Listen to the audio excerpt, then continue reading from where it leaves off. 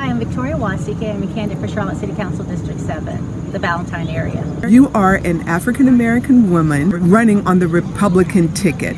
Tell me about what it is about the Republican agenda that you that made you want to run on that ticket in City Council. Well, thank you so much for the question. I'm actually a lifelong Republican. I've been a Republican since I registered to vote.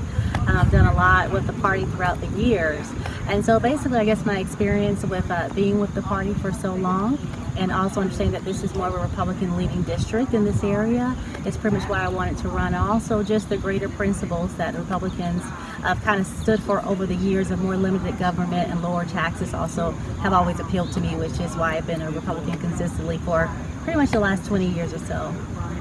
For District 7, what do you see as the top priorities for the area in which you're seeking uh, office for City Council?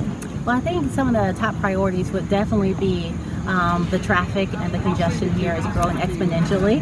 And I think I've been here for the last four years, and from when I came to now, it, it, there's a market difference in the traffic. So trying to get more funding for that and more intention for our roads, and that's a very important thing.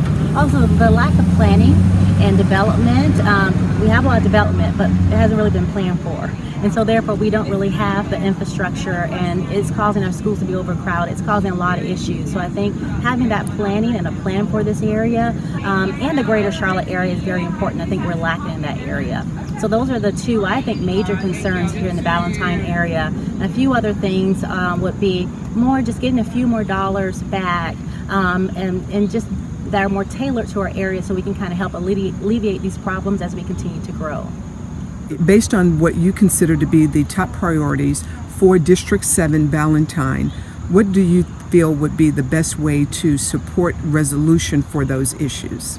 Well, um, I've already been doing the work in the in the South Charlotte area. I've been dubbed the voice of South Charlotte by the South Charlotte Weekly because I'm vice chair of the Planning Commission, our immediate past vice chair, kind of served in that area for planning and development. I've served on the Charlotte Regional Transportation Planning Organization. I've served as vice chair or chair of South Charlotte Partners in Ballantyne Breakfast Club.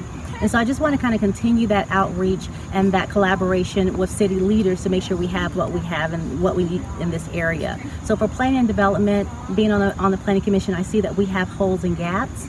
And so that's how I know intimately what I can do to help that.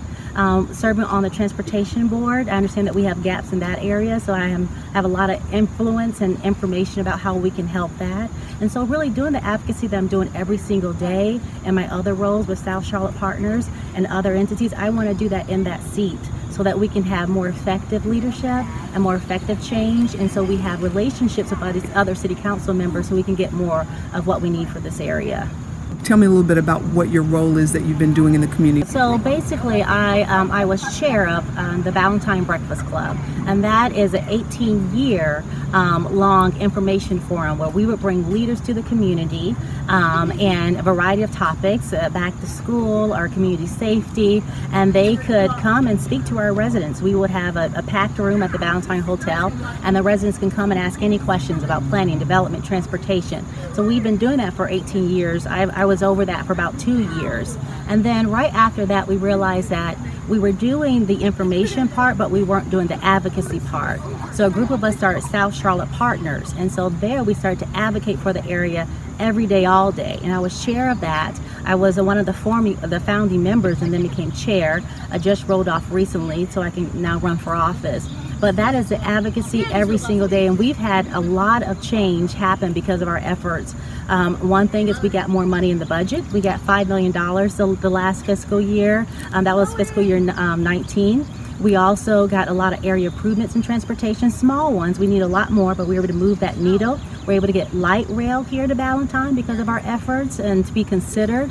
And so we're already kind of doing that work and the advocacy with those two organizations, and I've been intimately involved uh, with those two organizations. And when I was dubbed the voice of South Charlotte uh, by the South Charlotte Weekly, it was really because of my efforts in those two organizations, um, because I was really speaking for the area and helping to get what we need here.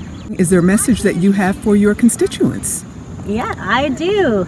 Well, I just feel like we can have better representation and that we can have someone who can kind of get things done for our area because we have a lot of needs. We just have to make sure that people know those needs and work with people and collaborate so they understand our priorities and understand that how we need help and how they can help us. And so I just hope that uh, you all come out and vote for me and so that we can see a better South Charlotte, better Ballantyne on September 10th in the primary if you're a Republican or independent slash unaffiliated voter. Thank you vote for Victoria Nwasike. Yes, victory!